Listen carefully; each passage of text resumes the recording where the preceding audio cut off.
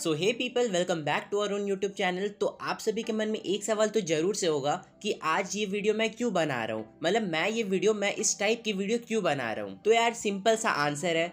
खुद मेरा भी और आपका भी सीबीएसई अपडेट वीडियो को देख देख के दिमाग खराब हो चुका है। मतलब कि अगर अपडेट आया तो वेल एंड फाइन अगर नहीं भी आया तो ये अपडेट चैनल दिन में तीन वीडियो बनाते हैं।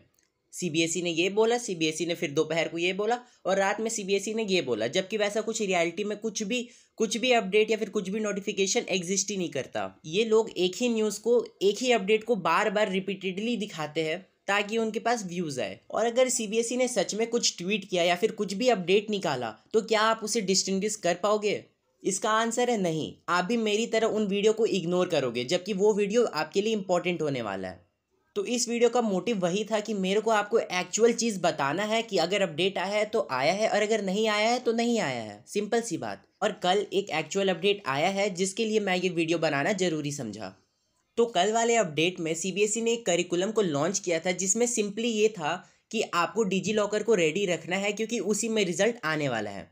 अब देखो रिज़ल्ट दो तरह से आते हैं, एक वेबसाइट में और एक डीजी लॉकर में। और उसमें एक मैनुअल बोल सकते मैनुअल भी था, जिसमें आपको समझाया गया था कि अगर आपका डीजी लॉकर अकाउंट नहीं है तो उसको कैसे बनाए। डीजी लॉकर सिंपली एक ऐप है, जिसमें गवर्नमेंट के द्वारा जितने भी डॉक्यूमेंट्स होते हैं, वो आप ऑनलाइन रख सकते हो ऑनलाइन स्टोर कर सकते हो। उसमें आपका आधार कार्ड होता है ड्राइविंग लाइसेंस हो सकता है पैन कार्ड हो सकता है, या फिर कोई भी डॉक्यूमेंट मार्कशीट आपके उसमें स्टोर किए जाते हैं। तो बस उस अपडेट में इतना ही था कि C B S E DigiLocker के थ्रू रिज़ल्ट देगा हाँ वेबसाइट के थ्रू भी देगा और इसमें ये अपडेट चैनल वाले ने दस वीडियो छापा। यार डीजी लॉकर को लेके इतना कंफ्यूजन क्यों है? सिंपली आपको एक ऐप इंस्टॉल करना है, उसमें लॉग इन करना है जो कि आपका आधार कार्ड से हो जाएगा। उसमें दस तरह की वीडियो बना के स्टूडेंट को मिसलीड करना क्यों भाई? और अगर गाइज़ आप भी ऐसे वीडियो देखते हो कि रिज़ल्ट आ जाएगा या फिर रिज़ल्ट कल आने वाला है रिज़ल्ट परसों आने वाला है तो यार प्लीज़ वो वीडियो को देखना बंद करो। अगर रियलिटी की बात करें तो सीबीएसई उस दिन बताता है किसी भी टाइम आज भी, कल भी या फिर परसों भी, कभी भी आके बोल सकते हैं कि रिज़ल्ट आ जाएगा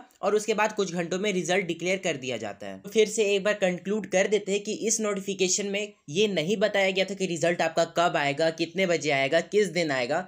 सिंपल से ये बताया गया था कि आपका रिज़ल्ट कैसे आएगा, आपको अपना डिजी लॉकर अकाउंट को रेडी रखना है ऐप इंस्टॉल कर लेना है, बस। और रहा बात रिज़ल्ट का तो वो किसी भी टाइम आ सकता है। आज भी आ सकता है, कल भी आ सकता है या परसों भी आ सकता है। मतलब सब चीज़ हो चुका है, बस रिज़ल्ट को पब्लिश करना बाकी है। यार, ये छोटा मोटा प्रोसेस थोड़ी है कि एक क्लास में टेस्ट हुआ टेस्ट में फोर्टी बचे थे टीचर ने चेक किया और आपको दे दिया। भाई, बहुत सारे इशू होते हैं सर्वर का इशू होता है और आजकल तो टेक्स्ट मैसेज के थ्रू भी आपको रिज़ल्ट मिल सकता है। फिर डीजी लॉकर हो गया, बहुत तरह की चीज़ें को चेक करना पड़ता है, कहीं आपका मार्क्स सही से चढ़ा कि नहीं सर्वर कहीं क्रैश ना हो जाए। तीन से चार बार इवेल्युएट होगा कि सही चढ़ा है मार्क्स की नहीं, उसके बाद आपका रिज़ल्ट पब्लिश किया जाता है। तो बस यही था आज की इस वीडियो में। खैर, आपका रिज़ल्ट अब किसी भी टाइम किसी भी वक्त आ सकता है। मतलब आज भी आ सकता है, कल भी आ सकता है, उसके बाद भी आ सकता है। मतलब किसी भी टाइम सब चीज़ हो चुका है, बस पब्लिश होना बाकी है। और उतना ज़्यादा टेंशन भी मत लेना। खैर, एक रिज़ल्ट ही है, एक पेपर ही है। थोड़ा इंपॉर्टेंट तो ज़रूर था बट अब जो हो चुका है, वो हो चुका है। अब एक्सेप्ट द प्रेजेंट प्रेजेंट में जीना सीखो। ठीक है? तो मिलते हैं किसी अगली वीडियो में। Till then bye bye take care जय हिंद।